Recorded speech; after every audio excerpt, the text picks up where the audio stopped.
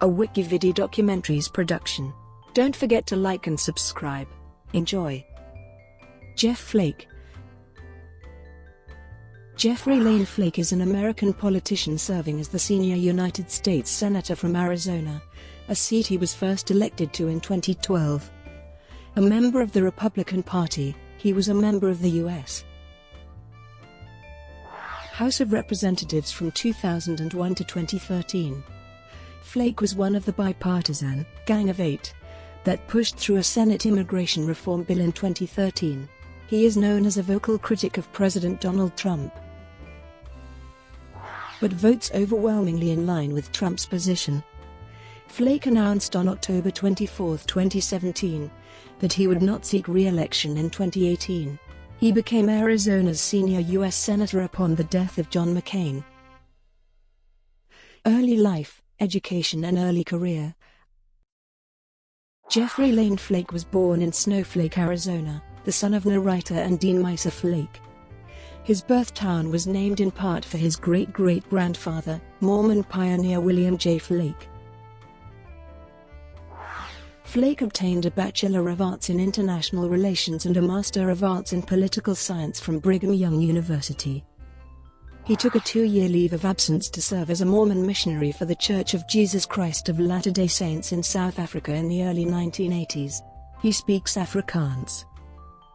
He worked in the public affairs sector after college and was the executive director of the Foundation for Democracy in Namibia and executive director of the Goldwater Institute before entering the House of Representatives. He opposed economic sanctions on South Africa in the 1980s, arguing that sanctions would harm the black population who were already suffering under apartheid policies.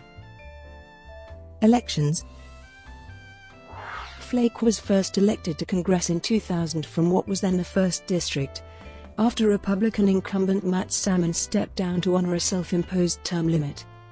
The district, which included most of the East Valley, was then renumbered as the 6th District as Arizona gained two congressional seats, because of the results of the 2000 census. Flake easily defeated his primary challenger. In his campaign in 2000, Flake had pledged to serve no more than three terms in Congress which would see him serve no later than January 2007. Shortly after being elected for a third time, Flake announced in early 2005 that he had changed his mind on pledging term limits and was planning to run for re-election in 2006. It was a mistake to limit my own terms, Flake said. In that same election, three out of five mayors in his home district opposed his re-election because, according to Flake, he did not bring pork barrel spending to the mayor's cities. In 2006, Several Democrats had announced their intention to run for the seat. But only one met the June filing deadline, and that particular filing was rejected due to an insufficient number of nominating signatures. I did expect to have a primary opponent. I deserve one, Flake said, referring to the term limit pledge which he had broken. By all rights, I ought to have an opponent. I just got lucky, I guess. In the 2006 midterm elections, Flake had no Democratic Party opponent and easily defeated the Libertarian Party candidate, Jason Blair, with 74% of the vote. 2012 election In February 2011, Flake announced that he was running for the U.S. Senate seat being vacated by the retiring Senate Minority Whip Jon Kyl in 2012.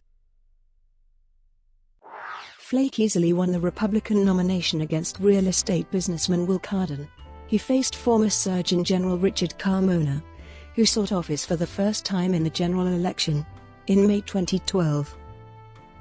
Flake led Carmona by 13 points in the polls. In an October 2012 poll by Public Policy Polling, Flake was trailing Carmona by two points. After the race tightened, the Wall Street Journal criticized a controversial Flake ad that accused Carmona of having issues with anger, with ethics, and with women. Flake was endorsed by the Casa Grande Dispatch,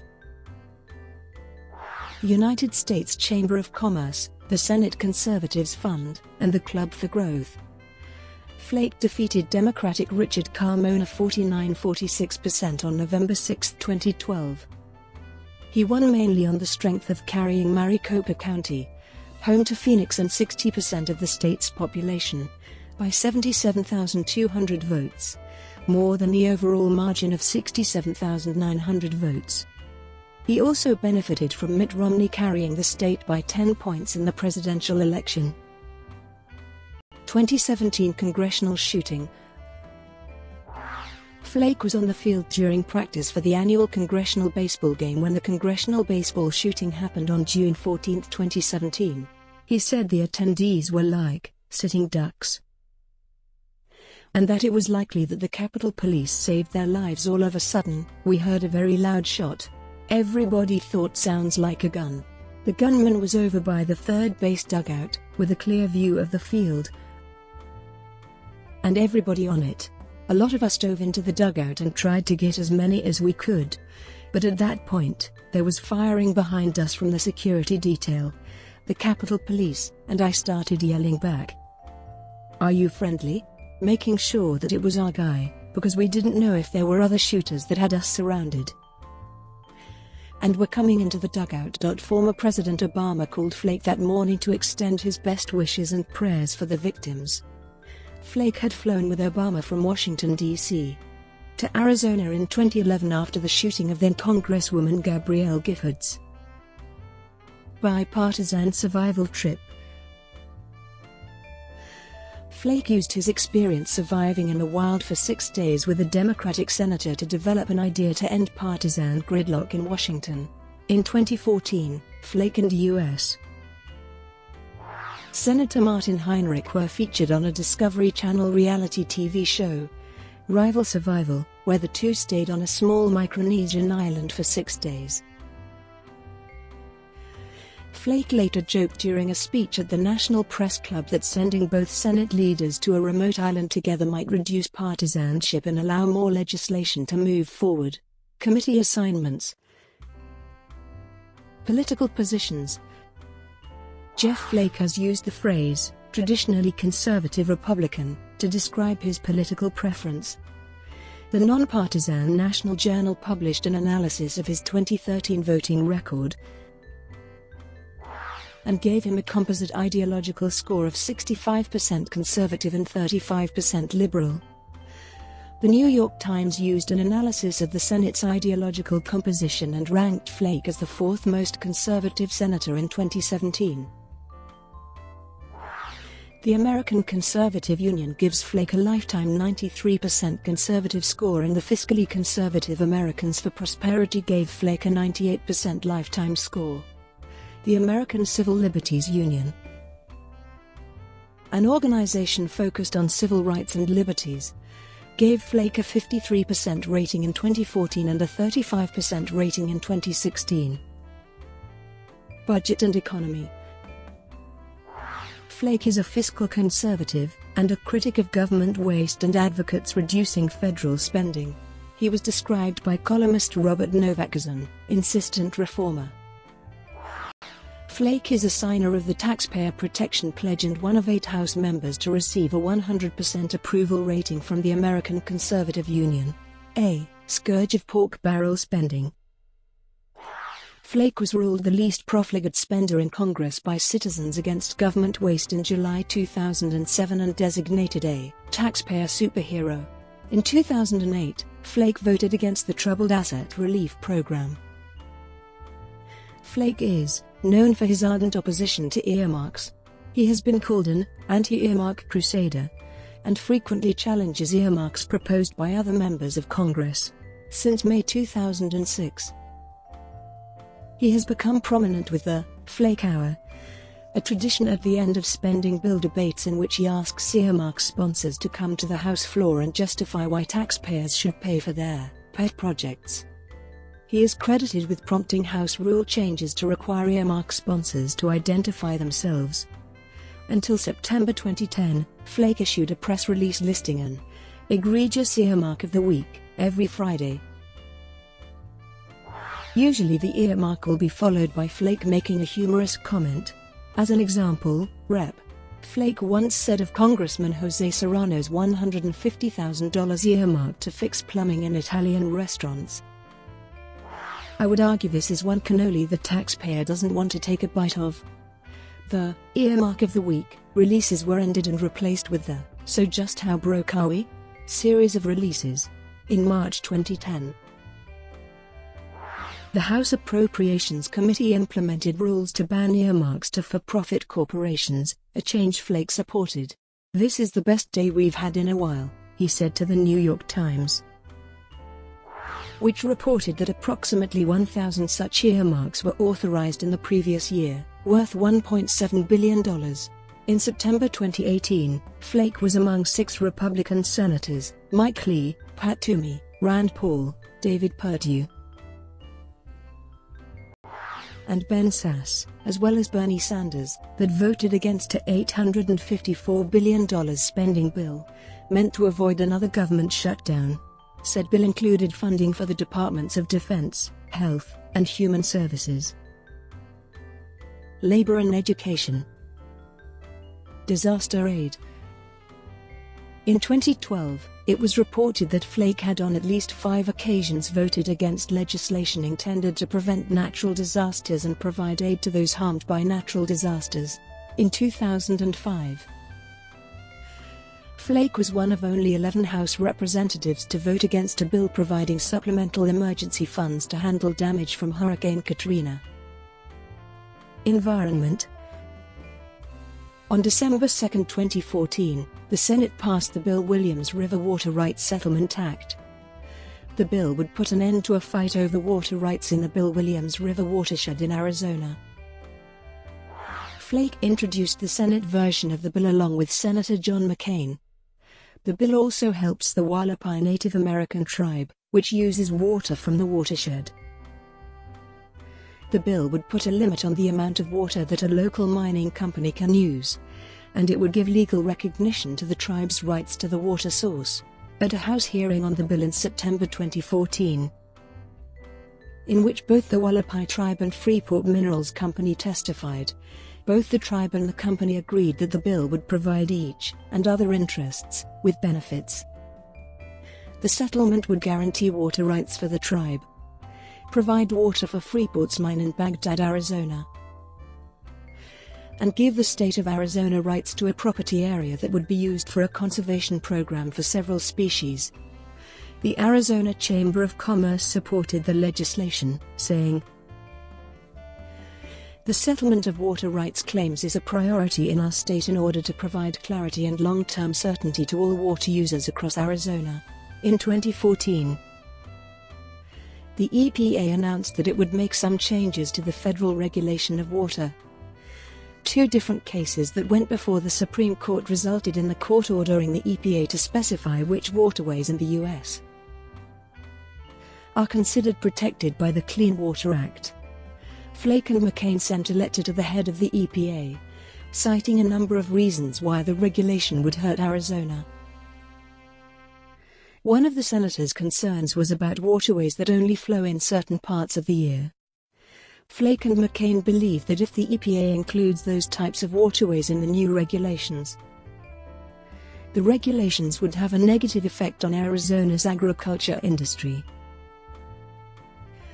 One of the reasons the EPA is using in deciding which waterways will fall under the new regulation is by concluding whether pollution in waterways will negatively affect other waters downstream. Flake and McCain asserted in their letter that little proof existed to back up such a conclusion.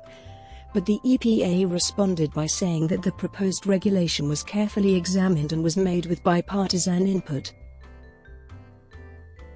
Additionally, Flake and McCain wrote that the new changes could make it harder for Arizona firefighters to fight wildfires. Flake advocated against the rule for two primary reasons. First, Flake wrote that the EPA proposed rule did not make a distinction between waterways that flow all year or just part of the year. Flake said that 94% of Arizona's waterways do not flow continuously year-round and argued that the lack of distinction in the rule would affect most of Arizona's waterways. Second, Flake argued that the scientific evidence used by the EPA to back up the rule was anything but settled. Flake and McCain had written to the EPA administrator about their concerns earlier, on May 6, 2014. An editorial published by the Arizona Republic said that the EPA rule would have the effect of requiring the Cap Canal to treat drinking water twice, which would increase costs to Arizona residents. The editorial claims that the canal, and all water sources that go to people's homes, already have to meet Safe Drinking Water Act regulations. Despite Flake's efforts against the bill, however, it was signed into law by President Barack Obama on December 16, 2014. Foreign Policy Flake voted in favor of the Iraq resolution in the House of Representatives in October 2002. In a debate on the House floor on the authorization of force, Flake said, We ought to let history be our guide here. But the most recent history in this case that we ought to look at is the vote that took place in this chamber 12 years ago. During that time, we faced a very similar decision. Should we thwart Saddam Hussein in his attempt to go beyond his boundaries or should we appease him? Fortunately, the majority of this body and the other body agreed we ought to thwart him and I think we can all agree that, had we not done so, that the biological and chemical weapons that Saddam Hussein possesses would be added to nuclear weapons which he would certainly possess today had he not been thwarted at that time. We are in this position today, I would submit. Because we have no other choice. This is our only reasonable option. War will no doubt come at great cost. When we visit the war memorials, we see that cost but the cost of appeasement is far greater. I commend the House leadership for bringing this resolution forward and for shepherding it through process. I especially commend our President who so forcefully pushed for this resolution and who has so deliberately pushed for this resolution. I urge support for the resolution. After the 2006 election in which Republicans lost control of the House of Representatives largely due to the unpopularity of the war in Iraq, Flake changed his position on the Iraq war to one of cautious opposition, including voting against appropriations. At a 2008 congressional hearing featuring General David Petraeus, Flake said, I still have a hard time seeing the big picture and what constitutes success in Iraq. That's not just one side of the aisle with those kind of concerns. Many on this side of the aisle have that as well. Flake supported ending the Cuba trade embargo and otherwise normalizing relations with Cuba. Flake supported President Barack Obama's 2014 decision to begin the process of normalizing relations between the United States and Cuba, despite opposition to the policy change from other Republican senators. Flake joined Democrats Chris Van Hollen and Patrick Leahy on a trip to Cuba to return Alan Gross to the United States. Gross, an American aid worker, had been imprisoned in Cuba for five years, but was released as part of the agreement between Obama and Cuban leader Raul Castro. Flake believes that the United States embargo against Cuba is flawed, stating, The policy that we've had in place for the past 50 years has done more in my view to keep the Castro regimes in power than anything we could have done. Flake has traveled to Cuba nine times and supports loosening restrictions on Americans traveling to Cuba. Gun control issues On April 17, 2013, Flake joined 45 other senators in voting against the Manchin-Toomey Amendment, which would have required background checks on private gun sales. Following the vote, Flake was criticized for changing his position on background checks, just days before the vote. He had sent the mother of one of the Colorado theater shooting victims a handwritten letter stating that, strengthening background checks is something we agree on. In response to a question asking whether he was worried about potential political consequences vowed by gun control groups, Flake replied, That's the beauty of a six year term. I truly want to do something on this. But what has been a little upsetting is to hear people try to maintain that we were just caving to pressure, discounting any issues that we had with the legislation. with the language, That's just not right. Following his no vote, Flake's approval rating fell from 45% favorable 43% unfavorable to 32% favorable 51% unfavorable according to one poll, making him the most unpopular senator in America as of April 2013. In March 2013, he joined with Senators Lindsey Graham, Mark Begich and Mark Pryor in introducing a bill that would prevent people from buying guns who have used an insanity defense, were ruled dangerous by a court, or had been committed by a court to mental health treatment. Brought to you by Wikividi Documentaries. Would you like to know more?